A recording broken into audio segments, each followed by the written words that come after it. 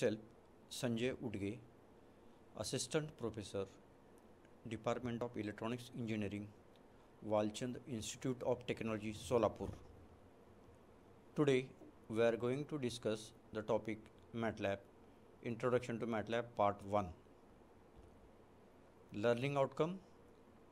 At the end of this topic, student is able to understand basics of scientific programming language.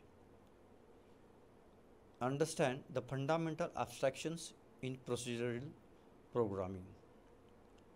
Differentiate variables and operators.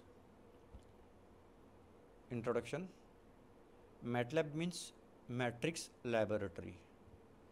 It is interpreted language, high performance language. It has scientific pro programming environment for the manipulation of matrices. It is used for the mathematical operations on the matrices. It uh, provides a super visuality capability. It has got built-in number of functions. It is a simple to learn and user friendly.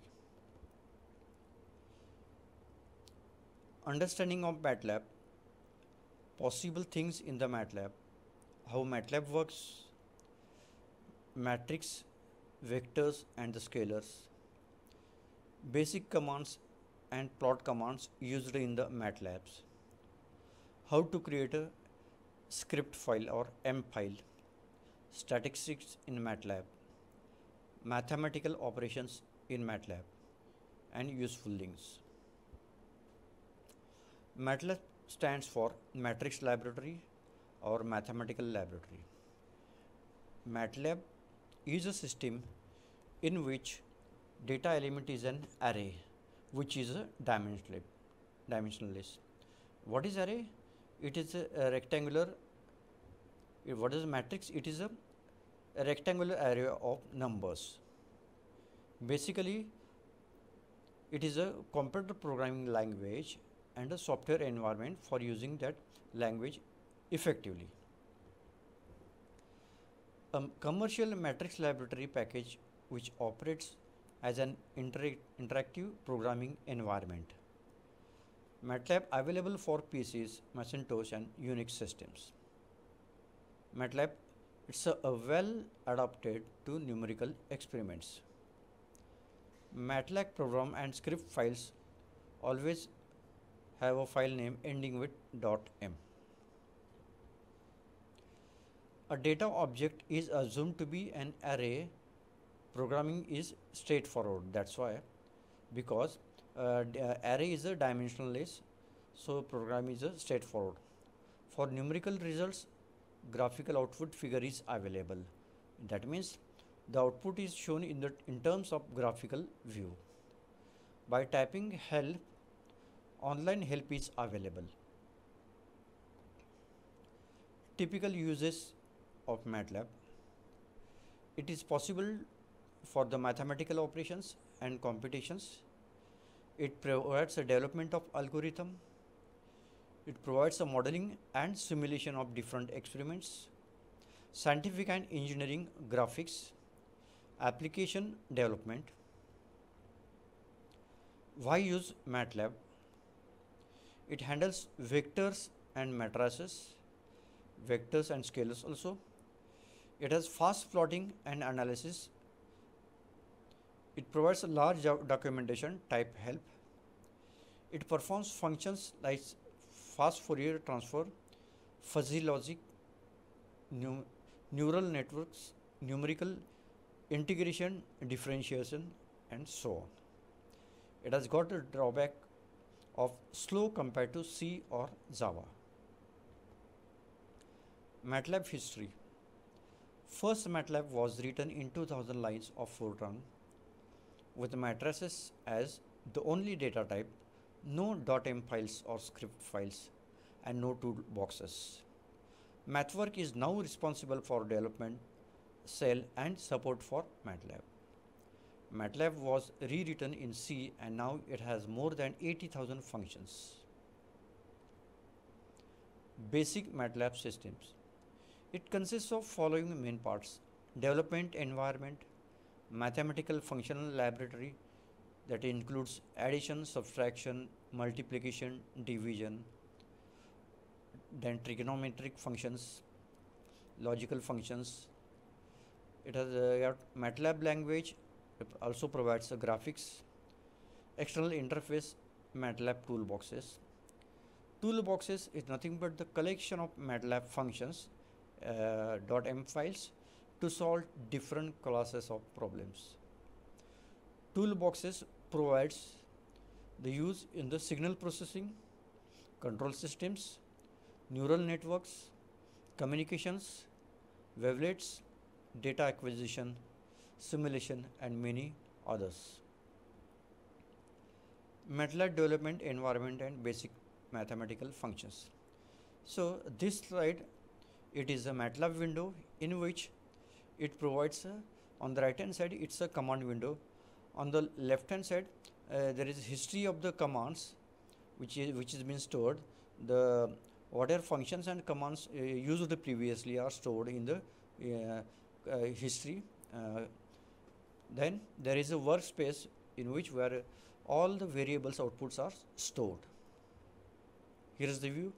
Command window all commands and programs are executed over here whereas on the left hand side a workspace or current directory variables stored here.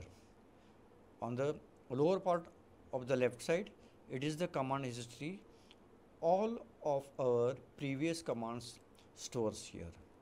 So on the right hand side command window. In the command window a single command is being executed after uh, typing a, a, particular command if we press the enter key it will uh, execute and give the result which is shown in the command window but if you want to enter a, a, a, complete program consisting of number of statements or commands, we have to go for a, script file. The script file is being created uh, by using uh, by uh, clicking on the file okay then new file rename that file uh, with the extension of dot .m and then uh, start typing the program and then you can uh, run it to get the result.